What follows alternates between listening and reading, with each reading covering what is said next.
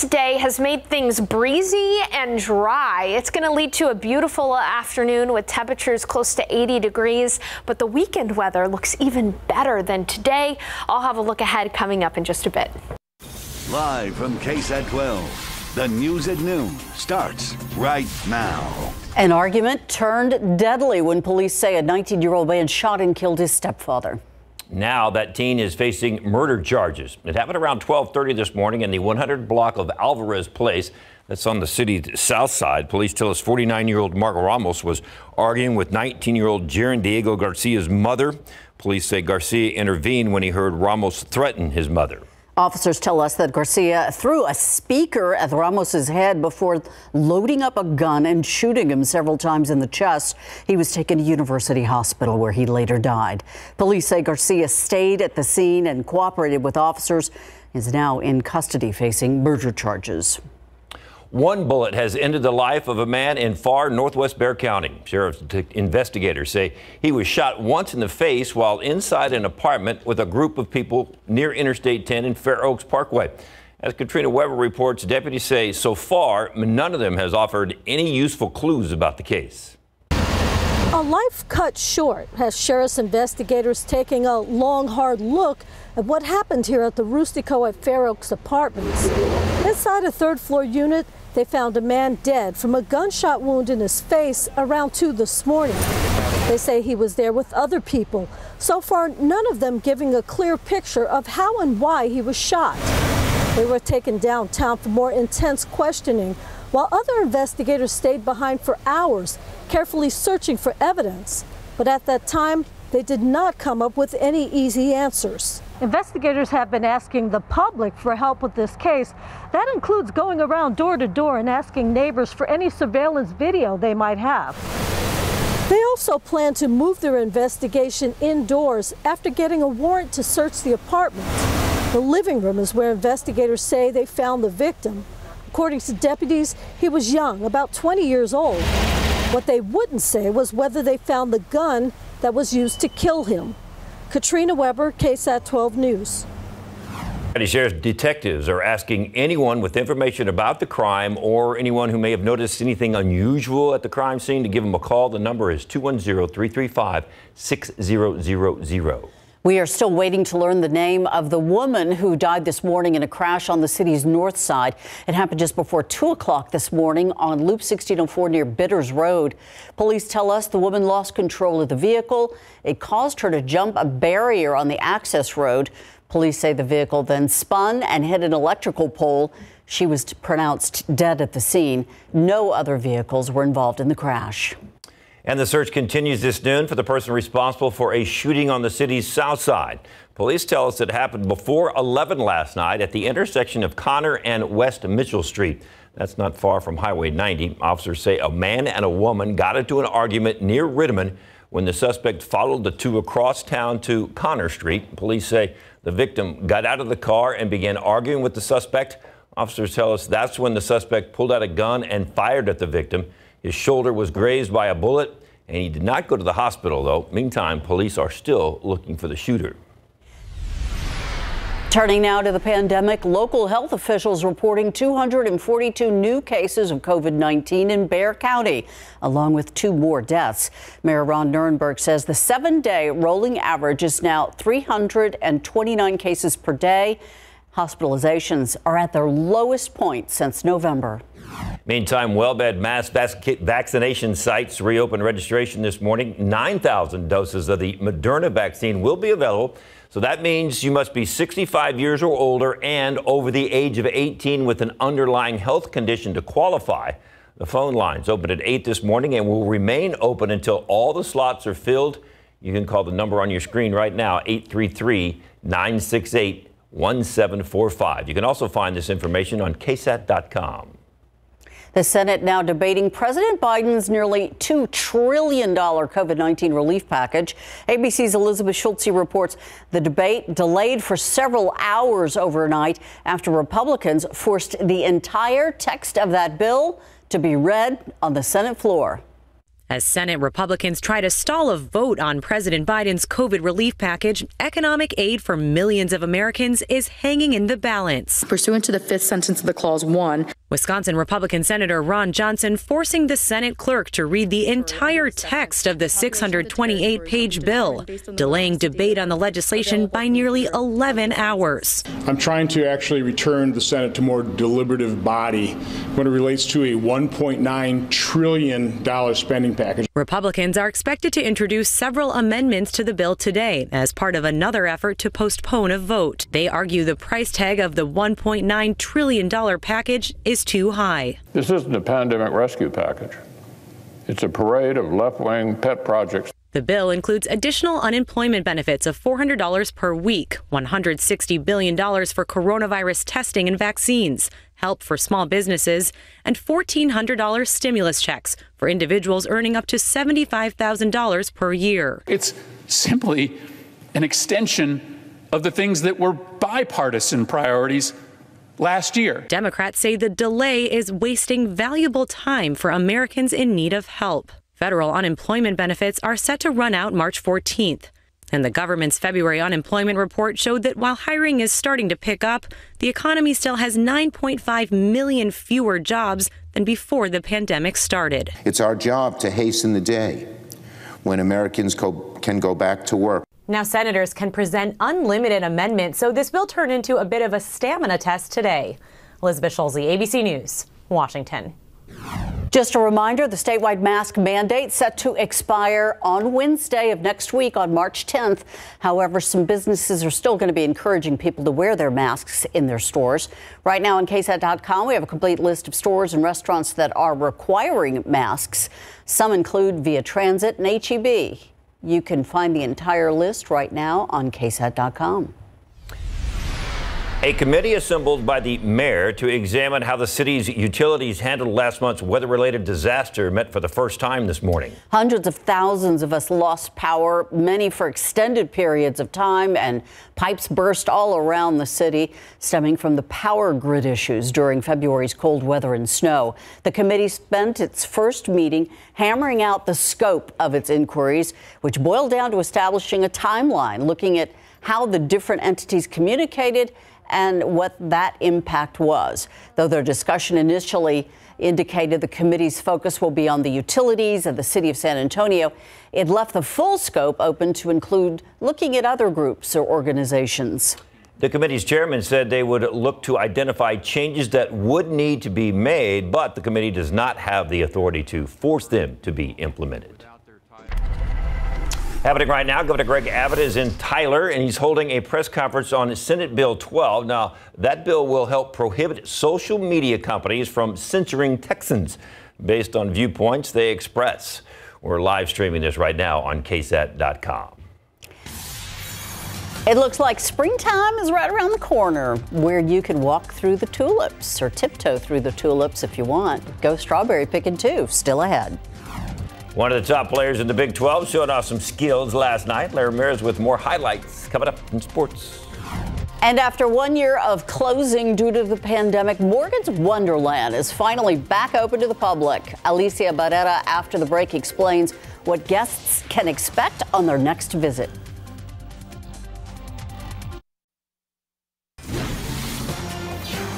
Morgan's Wonderland is now open again. The theme park ready to welcome you back. The park shut down about a year ago this month because of the coronavirus. Now it's springing back to life amid the pandemic. Alicia Barrera visited the park and explains what new policies and procedures are now in place in order to keep visitors safe. Sanitation's check. Butterflies to remind you where to stand, check. And don't forget to get a pump of hand sanitizer before you head to the next area. Staff at Morgan's Wonderland has been hard at work to make sure the ultra accessible park is ready to roll in a pandemic world. We have talked to doctors, we've talked to professors, we've talked to physicians, you name it, we have gotten every single um, procedure and protocol from the experts to make sure that we are ensuring the uh, limiting the exposure of COVID-19 in the world today. But today wouldn't be possible without community support. We got a generous donation from Richmond Advantage to help us, you know, help our team just take those extra steps in providing hand sanitizer to our guests, um, additional masks, um, cleaning supplies as well. Um, as far as guests coming in through the doors, we have. And although Governor Greg Abbott announced that as of March 10th, the mask mandate will be lifted and businesses can run at full capacity, for now, things will not change at the theme park. Come through our doors. We ask that you please, please, please purchase your tickets online. We do have capacity limit um, restrictions that we are putting on the park um, in place. Uh, wear a mask, of course. Although there may not be new rides this year, the team at Morgan's Wonderland says that the biggest addition is the smiles that will once again bring life to Morgan's Wonderland. For park hours, you can head over to ksat.com. Alicia Barrera, KSAT 12 News. Good day to get outside, isn't it? Woo, it's beautiful out there. Definitely. We're on a roll. We are on a roll. We're rolling through the 70s right now. We're going to get up to 80 degrees this afternoon for the high temperature. Some good news the aquifer is actually up about a tenth of a foot over the past 24 hours, and the 10 day total is now uh, above 660 feet, and that's that critical level for stage one water restrictions. So we'll see what SAWS and the Aquifer Authority do with that information. Pollen count also looking good. Mold is low, down from yesterday. Ash and elm are low as well. You know what I don't see there? I don't see any mountain cedar. We're hoping that that continues to be the trend as mountain cedar season has gone a little bit later, I think, due to uh, the February deep freeze. Now, coming up in the forecast, we're going to talk about this weekend. It looks beautiful. I'll have the forecast coming up.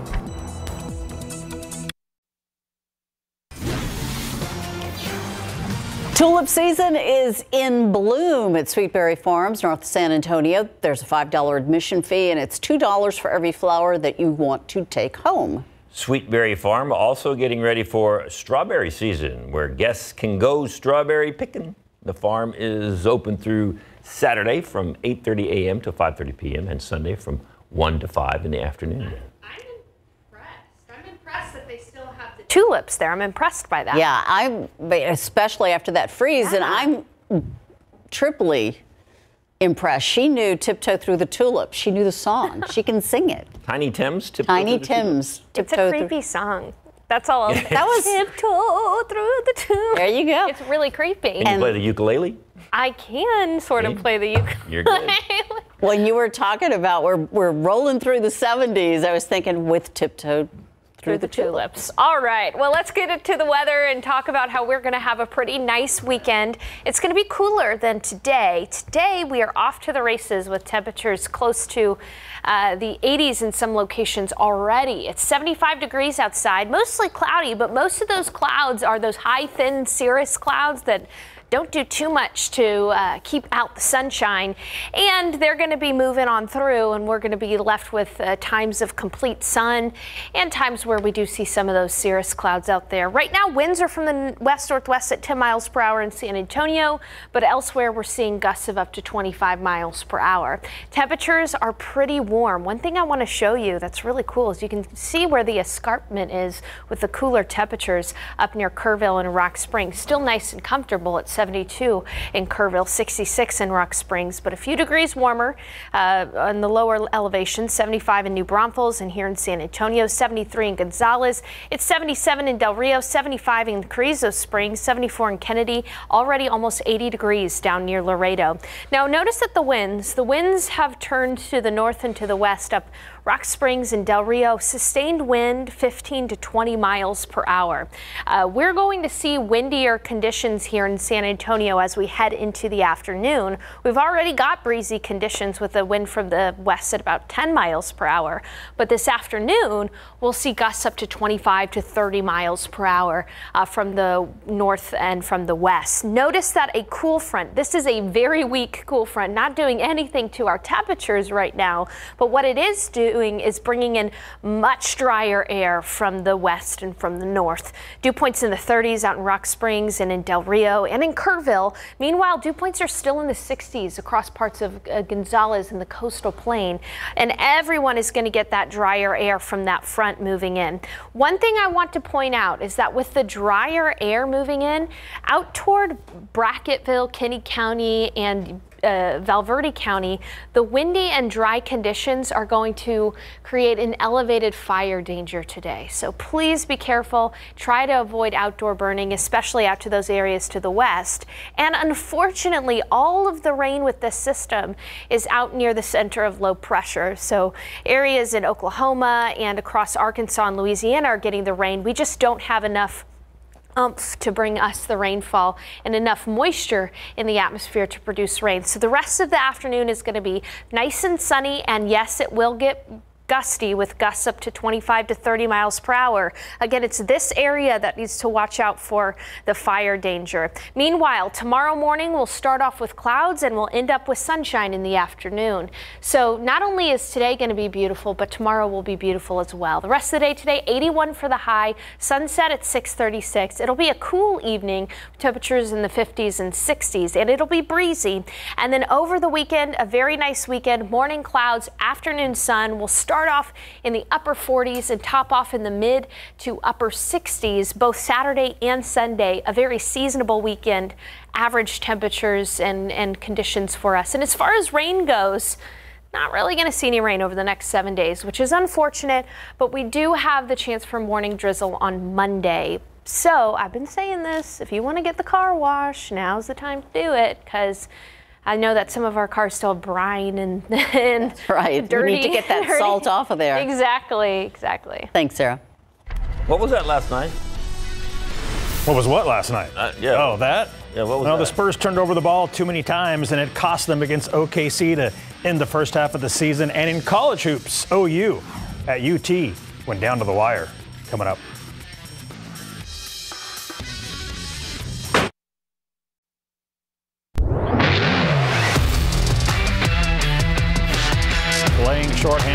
The Spurs did not get the win they wanted to end the first half of the season versus OKC.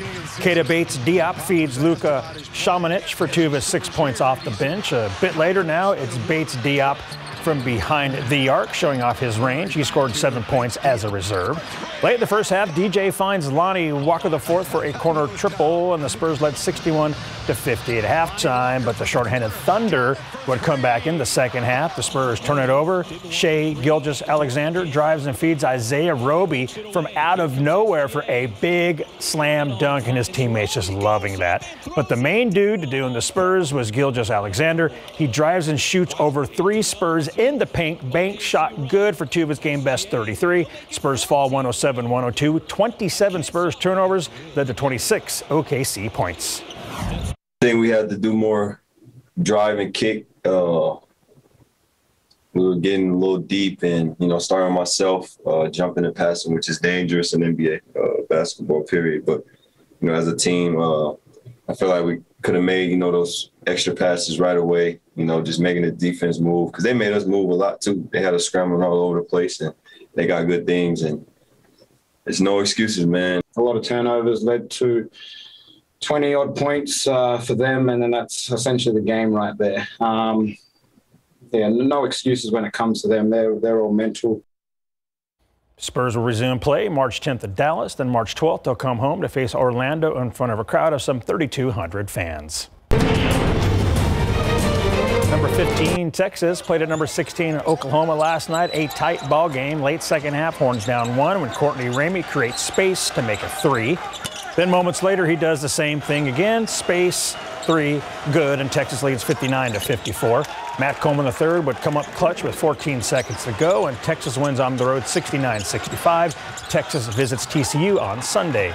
17th ranked Oklahoma State visiting number three Baylor and Waco. Jam of the game right here. Check this out. Jared Butler dribbles right around his guy for the poster jam. Look at that again. It's too good not to. The Bears led 42-31 at halftime. The second half was evenly matched. Baylor's 11-point lead was all they needed. They win 81 to 70. Baylor is home against number 18 Texas Tech on Sunday. Speaking of, we closed out our Big 12 highlights with Iowa State at number 18, Texas Tech. David Sears is watching this one. Red Raider Mac McClung doing McClung type things, lefty layup high off the window. Then in the second half, he drives in again, hits a tough left handed layup as he hits the ground, plus the foul. Friendly arm coat roll He scored a game high 20, David. Tech takes it 81 54. And right here in town, Jhivvan Jackson and Keaton Wallace each had 23 points, leading UTSA men's basketball to a 123 43 win over Southwestern Adventist, the largest margin of victory in program history last night at the Convocation Center. Next up for UTSA, the Conference USA tournament. That's a lot of points for It is a lot of game. points. All right, Larry. Thank you. You got it. February was a big month for the economy. How many jobs the U.S. added? Still coming up. A new poll shows more than half of Americans approve President Joe Biden's response to COVID 19.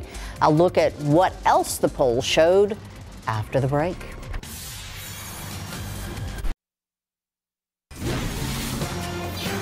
Now to the newest troubles for New York Governor Andrew Cuomo, one of the women accusing him of sexual harassment, now detailing her conversations with the embattled governor in a new interview. He's also under federal investigation for aspects of his handling of the coronavirus pandemic. ABC's Reena Roy has the latest.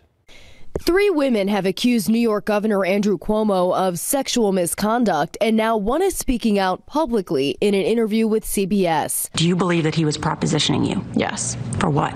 Sex. 25 year old Charlotte Bennett telling CBS the governor asked her about her sex life during a one on one meeting in June when she worked for him as an executive assistant.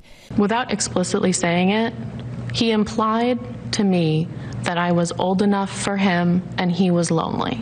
She says he would ask her about her sexual assault experience, but never got physical with her. Because of my trauma. The governor asked me if I was sensitive to intimacy. Bennett says she reported the encounter to Cuomo's chief of staff and was transferred to another department. She then left the administration in November. Another former staffer, Lindsey Boylan, also coming forward, saying the governor gave her an unwanted kiss. Third accuser, Anna Ruch, telling the New York Times this week she met the governor at a wedding reception in 2019 where she claims he asked to kiss her. The state attorney general launching an official investigation looking into the three claims, the governor denying all of the allegations. I now understand that I acted in a way that made people feel uncomfortable. It was unintentional, and I truly and deeply apologize for it. Meantime, New York state lawmakers voting on whether to strip Governor Cuomo of his emergency coronavirus powers as he also faces a federal probe into his handling of nursing home deaths early in the pandemic. Reena Roy, ABC News, New York. More than half of Americans say they approve of President Joe Biden's response to the coronavirus pandemic, according to a new poll from the Associated Press. 70% of Americans back his handling of the virus response, including 44% of Republicans. 55% of Americans approve of Biden's approach to the economy. Meantime, 63% say the U.S. economy is in poor shape. The president argued that until the spread of the virus is under control, the economy won't fully recover. Right now on KSAT.com, you can read more on the poll results as well as find links to other articles about President Biden's COVID 19 relief bill. The Labor Department saying employers added 379,000 jobs in February, which is the most since October. The Labor Department says it's a sign that the economy is improving. This also means consumers are spending more as states and cities ease up their business COVID 19 restrictions. The February gain marked a pickup from the 166,000 jobs in January, a loss of 306,000 back in December as well. The unemployment rate fell to 6.2 percent. In New Zealand, tsunami warnings were triggered after one of the strongest earthquakes hit the South Pacific Ocean. The 8.1 magnitude quake caused those tsunami warnings. The threat caused some chaos in New Zealand as people scrambled to get to higher ground. Everyone was allowed to safely return home after the National Emergency Management Agency gave the all clear. That is so scary. I've read the warning and it said walk, run, or bike. Do not drive to higher ground because they didn't want people to get caught in traffic. So, oh my goodness. My goodness. Thank goodness we don't have to worry about tsunamis here in San Antonio. It is a beautiful day outside right now with clearing skies and temperatures on the rise. Let's take a look at the satellite imagery. A few wispy cirrus clouds around San Antonio, but that is a welcome change to this morning when we were completely cloudy. A wider view here, and most of us are enjoying complete sunshine with the exception of some of our coastal communities. If you live out toward Val Verde County, if you live in Kinney County, even in Maverick County, careful today because it is dry and it is breezy and it's getting warm. And that's a those are bad combinations when it comes to grass fire danger. So please use caution and try to avoid outdoor burning today. 77 in Pleasanton and here in San Antonio. We are warming up 76 in Hondo, 77 in Del Rio, 75 in Carrizo Springs, still in the upper 60s in parts of the hill country. We're definitely going to hit 80 degrees today, probably get into uh, near 80 degrees. Now, I was talking about this earlier uh, that if you want to get the car wash today, if your license plate says I hate dirt and you need to get a car wash after all of the bad weather a couple of weeks ago, just know that you've got the green light to go for the car wash forecast both today and through the weekend. We do have a small chance for some drizzle in the week ahead, but as I mentioned, the weekend is going to be really nice. I'll be back with a look at that weekend forecast coming up in a bit. David, Ursula. Thank you, Sarah. When it comes to sleep and wellness, consistency is the key. ABC's Ike Ejiochi explains how maintaining a consistent sleep schedule can affect your health. The CDC recommends adults get seven or more hours of sleep per night for best health and well being. But a recent study shows that maintaining a consistent sleep schedule is also very important. Researchers from Michigan Medicine claim that people with variable sleep schedules uh, tend to have worse daily moods and are at greater overall risk for depression. To help carry out their study, the team used wearable devices to track sleep patterns. Wearable devices such as smartwatches are being used by millions of people today and may be a great step in bringing awareness to sleep consistency. These findings highlight sleep consistency as an important factor in targeting depression and wellness and underscore the potential for wearable devices to help track and better understand sleeping patterns. With this Medical Minute, I'm Ike Ejiochi, ABC News. A fan of the award winning musical Hamilton has animated it using a popular Nintendo game when you can stream Hamilton, an Animal Crossing musical. Still ahead in the spotlight. The Jourdanton boys basketball team in the regional semis tonight. Larry Mears with a preview coming up in sports. And Netflix wants to make it easier for you to find comedy shows. After the break, more details in its new Fast Laughs tab. Never miss a story. Watch live or when you want. San Antonio's latest news and weather, streaming free on KSAT TV.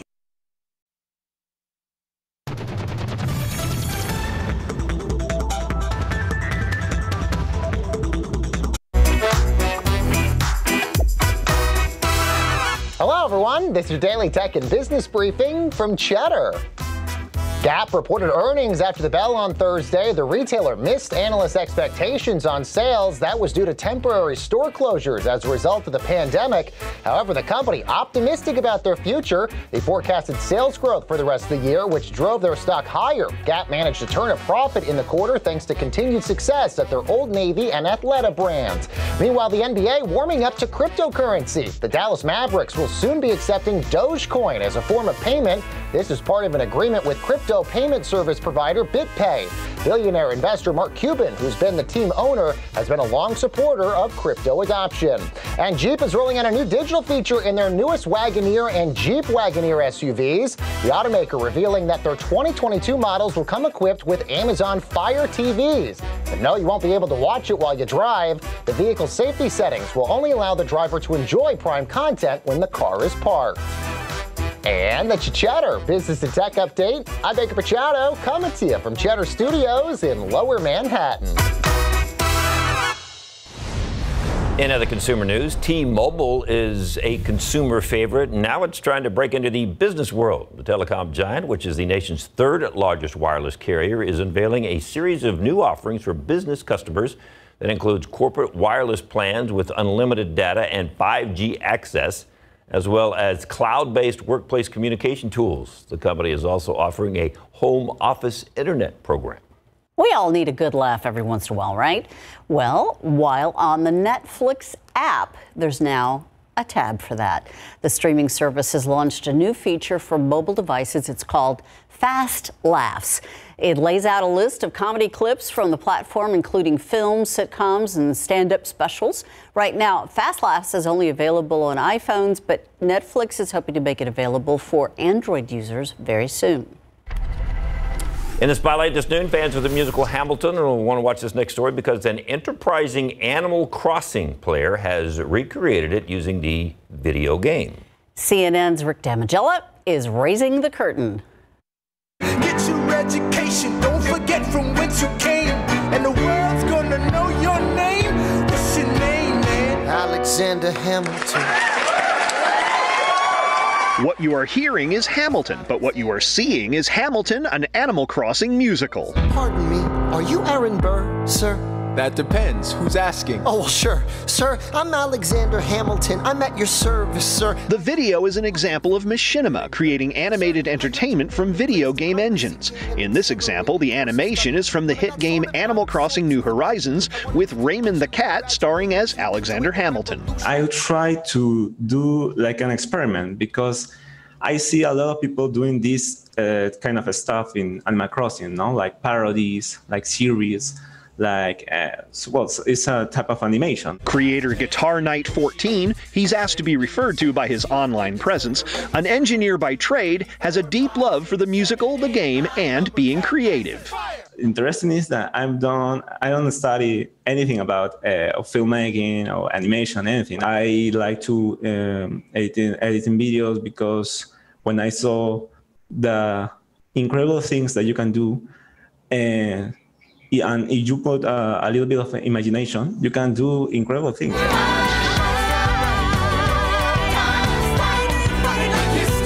He completed Act 1 in December, and Guitar Knight 14 hopes to have Act 2 completed in a few months. Waiting for the lobby lights to flash in Hollywood, I'm Rick Damigella. That's so cute. Act one of Hamilton, an Animal Crossing musical, is now streaming on YouTube, which took six months to create.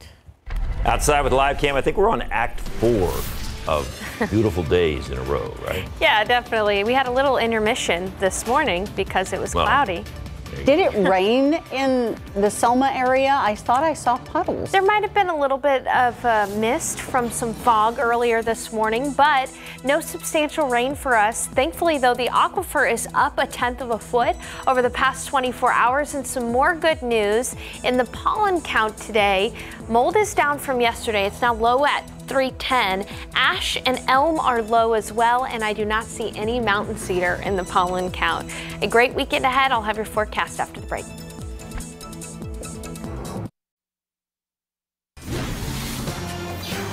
We are rocking into the 70s today. We are? Well, past the 70s. We're probably going to be rocking into the 80s. We're going to get into the 80s. Yeah. Well, I thought you meant like the 70s, like the decade of the 70s. Hey. I thought you were going to bring up some like 70s music. You know what? Here's we've stuff. been talking a lot about Yes. music this Yeah. show. We've been Big- talking a lot about music. Cue up your 70s playlist, and in right around 4 p.m., Oh. make sure it's on the 80s playlist. There you go. All and right, then we let's- could always sing, It's Friday. Yeah, you could. you could always sing It's Friday. All right, they're trying to get me to sing on this show We this are. morning. I knew that. All right, so let's go ahead and take a look at the time lapse because this is how we started off the day. We started off with clouds and areas of mist, uh, but very quickly a cool front moved through and it's allowed for our skies to clear. And we're looking at beautiful. Uh, cirrus clouds with tons of blue in the sky as well. Uh, outside uh, with a visible satellite, you can see those cirrus clouds right there uh, on uh, around San Antonio. Some cirrus clouds, but those are quickly moving on off to the east. And look out toward Uvalde, Hondo, Leakey. Tons of sunshine there. Uh, temperatures this afternoon are warming up really nicely. We're close to 80 degrees already, 77 at the airport, 75 in New Braunfels, 77 in Pleasanton, 78 uh, along 35 toward Laredo. Up in the hill country, temperatures are typically uh, right now in the upper 60s or near 70 degrees, 72 in Kerrville. Something you'll notice is that air out toward Del Rio, Rock Springs, the wind gusts are up to about 30 miles per hour out there. Uh, and this is going to cause a little bit of an elevated fire danger out across parts of Val Verde, Kinney County, potentially even uh, Edwards County, where we've got dry air and we've got wind gusts of up to 30 miles per hour. Dew points have fallen into the 30s here in San Antonio from the 60s earlier this morning. So that's the one thing that this cold front is really doing. It's allowing for drier air and windier conditions. It's still pretty muggy down in Pleasanton and down in Beeville. But as we head throughout the rest of the afternoon, everybody will be enjoying some drier weather. High temperatures today, low 80s, Cotulla 83, 82 in Pleasanton, 80 in Del Rio, 75 in Kerrville and 73 in Rock Springs. Just to put things uh, into an hour by hour basis for you, we'll already be in the upper 70s by 2, 81 around 4. And then in the evening, it'll be nice and cool. Temperatures in the 50s and 60s if you plan to go out this Friday night uh, with breezy conditions with gusts up to about 25 miles per hour. It's also going to be a really nice and seasonable weekend. We will be breezy tomorrow. We'll start off with clouds, upper 40s for those morning lows, and comfortable in the afternoons for those high temperatures, close to about 68 degrees on Sunday. Now, I, do have to have some bad news mixed in with the good news for the beautiful weekend. We are still seeing some severe drought in many places, and across the state of Texas, 54% of the state of Texas is in drought. And the bad news is we're not expecting any kind of widespread rain across, honestly, the state of Texas over the next seven days. This is a look at rainfall potential. As you can see here in San Antonio, big hole in the rainfall potential over the next seven days. Now, the one time that we do have a chance for some drizzle is on Monday morning. So, as I mentioned, feel free to wash the car this weekend. You'll really only have to deal with some morning drizzle on Monday. And then looking ahead to the rest of the week, it's going to be pretty mild for a March week. We'll be starting off generally in the 50s and topping off in the 70s.